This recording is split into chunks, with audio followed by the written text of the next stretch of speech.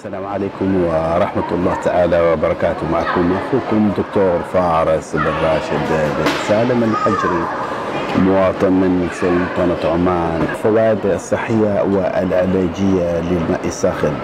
متكامل العلاج بالماء الساخن. لا يقتصر فقط على برنامج صحي وعلاجي لطريقة تناول الماء الساخن وهو طبعا الأساس لكن هناك أيضا كذلك أساليب صحية وعلاجية أخرى بفوائد عديدة. أول شيء العلاج بالماء الساخن حالة استثنائية تتعلق بتغذية خلايا جسم الإنسان بأربع عناصر مغذية أساسية ولا توجد في آن واحد الماء الطاقة الهيدروجين والأكسجين. ثانية فوائد صحية وعلاجية تتعلق ببناء جسم الإنسان إعادة هيكلة جسم الإنسان إلى أحسن خلق أحسن تقويم.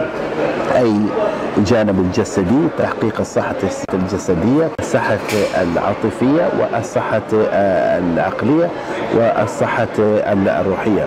فالأمراض والبدانة جميعها تقع في جانب واحد أي الصحة الجسدية.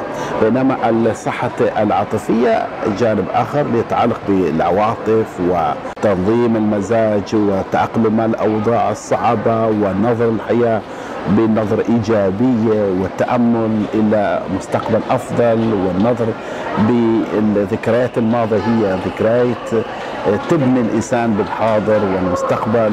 وتفادي كل ما هو ممكن يؤثر على الإنسان سلبا. وكذلك الصحة العقلية اصيل جدا تتعلق في بناء القدرات اللاواعيه للإنسان زيادة الإنتاجية ودقة التركيز والحد من الحوادث وإلى آخره. وكذلك الصحة الروحية. فكل هذه الجوانب صحه الإنسان تكتمل من خلال البرنامج الصحي والعلاجي للماء الساخن لجميع أساليب الصحية والعلاجية للماء الساخن.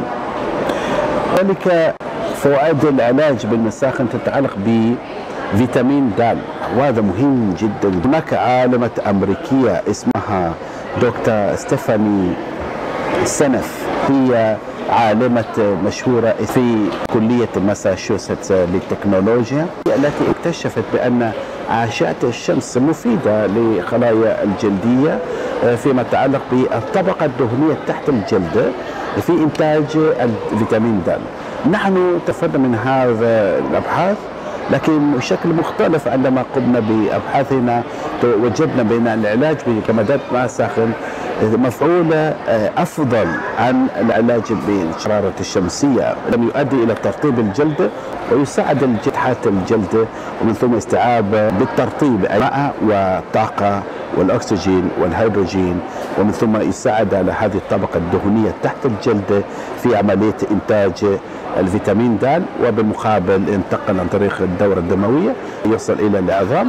من ثم مساعدة العظام في عملية استيعاب الكالسيوم والحفاظ على الكالسيوم وبالتالي زيادة سماكة الغشاء اللي فيه للعظام للحد من التخلص من مشاكل العظام.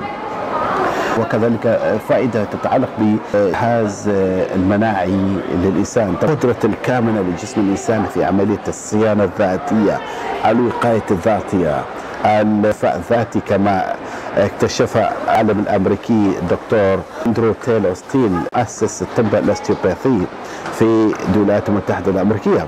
جهاز المناعي جدا في كرات الدم البيضاء وقضاء على التهاب يدخل في جسم الإنسان وبالتالي ترك الجسم يكون له القدرة في الحمايه الذاتية والشفاء الذاتية.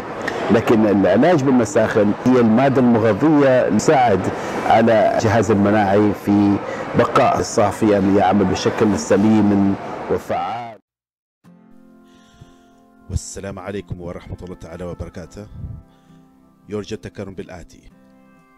تسجيل اشتراكك بقناة اليوتيوب الخاصة للدكتور فارس الحجري.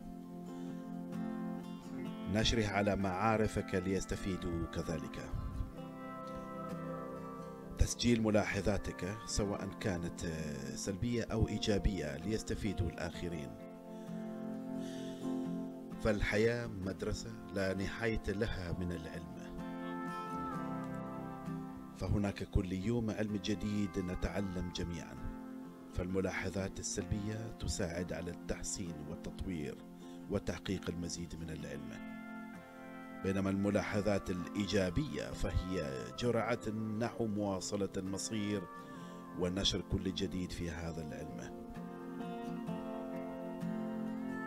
تسجيل تجربتك. فهناك الكثير ممن يؤمن بتجارب الآخرين. أخوكم الدكتور فارس الحجري.